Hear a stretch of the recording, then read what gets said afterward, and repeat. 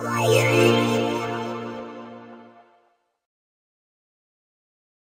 there guys, Conrad here with iSkysoft PDF Editor for Macintosh and today what we're going to be doing is showing you how to sign your PDF documents.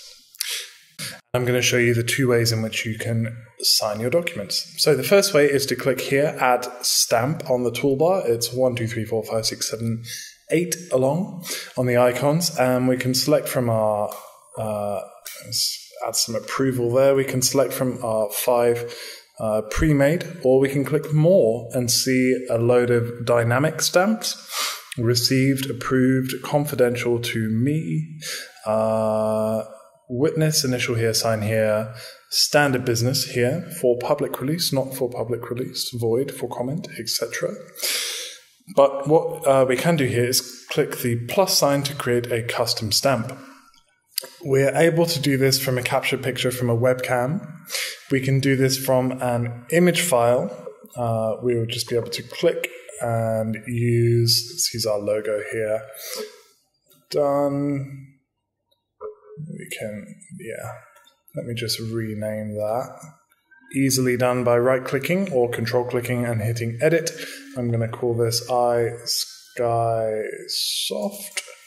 logo in a new category. Uh, let's call this sign. Okay. Now, uh, we could also draw a new stamp, and I apologize. Here's my signature. Let me uh, actually undo that. Let's, uh, okay hit done there. And I'm pretty sure I'm just going to delete that immediately as it does not look very good. But if you did want to uh, maybe use a connected um, tablet, uh, that would work a lot better. So what I'm going to do here is just type my name, Conrad iSkysoft. Beautiful and I can pick a number of typefaces here. I'm going to use Futura because that's exactly what my handwriting looks like. And I'm going to bring down the opacity there. And in the category sign, I'm going to put this down as Conrad. Here we go.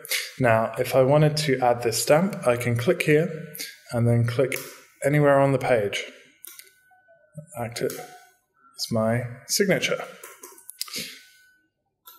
Excellent.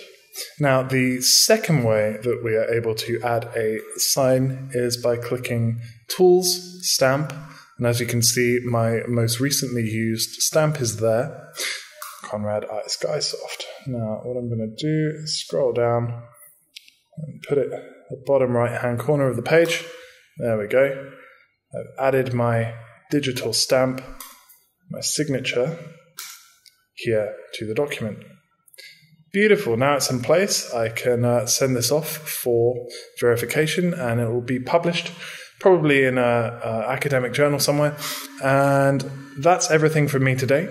Thank you so much for watching and I will speak to you next time. All the best. Goodbye.